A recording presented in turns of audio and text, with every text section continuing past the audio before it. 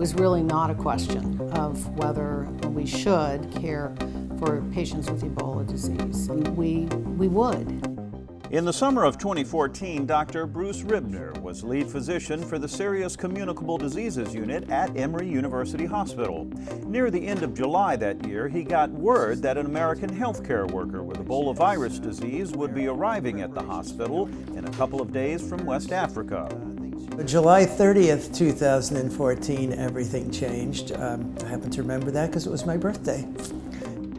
The hospital had constructed this special intensive care isolation unit in 2001 in collaboration with the Centers for Disease Control and Prevention. It had been used only a few times over the years to care for CDC field personnel with less menacing infections than what Ribner and his team would soon be facing.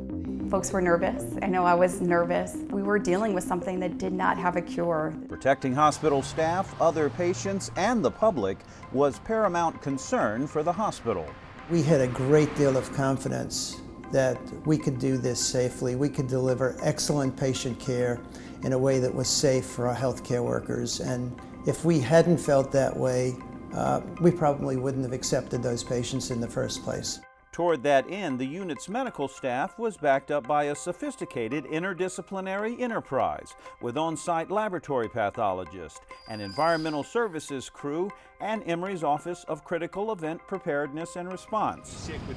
Amid a storm of media and an anxious public, Dr. Kent Brantly arrived at Emory University Hospital on August 2, 2014. He was the first person with Ebola virus disease to ever set foot on American soil. I think we all felt this burden. We brought Ebola to Atlanta, and it was our responsibility to make sure it went no further. You doff and then into the shower area? Nurse Joe Morgan was the first clinician in the United States to care for an Ebola patient. I just wrote up on the board, you know, welcome home. We're glad you're here.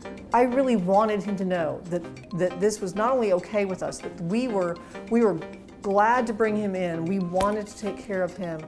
On August 5th, Nancy Writebol, the second patient with Ebola to be treated in the United States, was admitted to Emory. When Nancy Writebol arrived, very different set of circumstances. She came in on a stretcher, and she actually said to Dr. Lyon and I, who were in the room when she arrived, that she thought that she was brought back to the United States so that she could die at home. And Dr. Lyon was like, that's not my impression of why you're here. I'm here to make you better. Like, let's just get this straight from the get-go. For several weeks, the Emory Ebola story remained front page news throughout the world. So the media issue in general, I think, was um, a huge learning curve for all of us on the team. None of us had really interacted to that level with the media.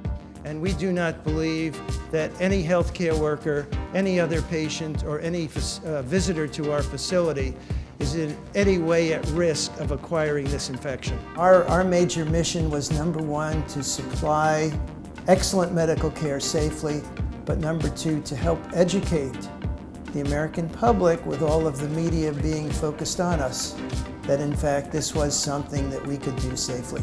After weeks of intensive medical care, Emory's first two Ebola patients began to show signs of improvement. Nancy Writebol was discharged a couple of days before Kent Brantly. Today is a miraculous day.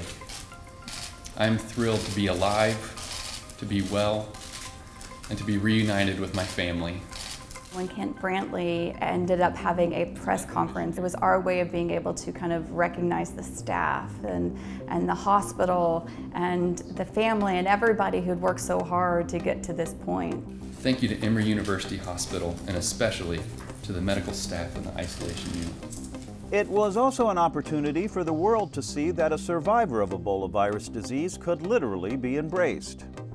In early September of 2014, Emory's third and sickest patient came to the hospital, Dr. Ian Crozier. When Dr. Crozier arrived, he was already a little on the delirious side. He was really sick.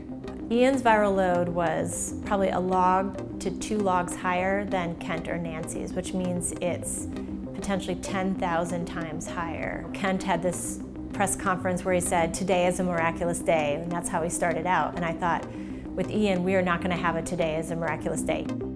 Ian perhaps taught us the greatest about Ebola virus disease and uh, especially patients who have severe illness with it. Experts here soon realized that advanced intensive care measures such as dialysis and ventilating were not, as previously thought, fruitless on patients with Ebola virus disease. That was one lesson learned that if you can help support um, patients through this very difficult time, keep them alive. It's amazing what, what they can fight through if, you're, if you have the resources to do that. Though the team had initially braced themselves for the worst, Crozier eventually began to take a turn toward recovery. I walked in and he was joking with his brother um, through the intercom system. And at that point, I knew that he was regaining consciousness and um, that probably his other issues were going to get better.